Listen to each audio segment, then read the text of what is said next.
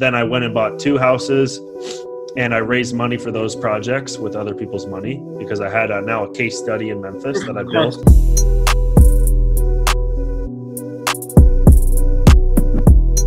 Funding though, let's talk about that for a second. Obviously, you're you're you're you're you guys are working at scale now. You started with Mhm. 40 grand.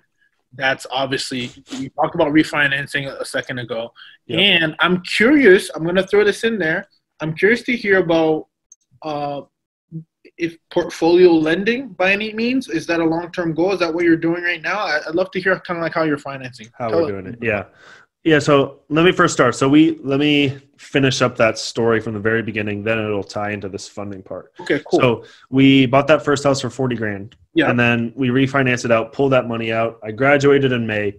By December, we had 10 properties in Memphis, Tennessee, fully cash flowing. So I went hard. We bought that one house, it was done. Then I went and bought two houses and I raised money for those projects with other people's money because I had a, now a case study in Memphis that I built. which is what we always talk about in the lab. Yep. Yep. And then I built that case study. I started networking my ass off because now I was the guy doing out of state shit.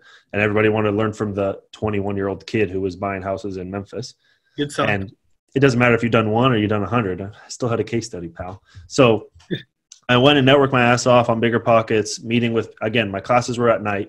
So I was meeting people throughout the day for coffee, for breakfast, or, you know, before work or lunch, and started just growing that list of people who were interested in investing in real estate, but couldn't afford to invest in California. And I just, the exact thing I've been doing for the last two years, which was trying to invest in California. Shit doesn't work. Need to go out of state. And that's what I would sit down and talk to people for for an hour. And then, hey, here's what I figured out works. Let me get your email and let's see if we can do something in the future.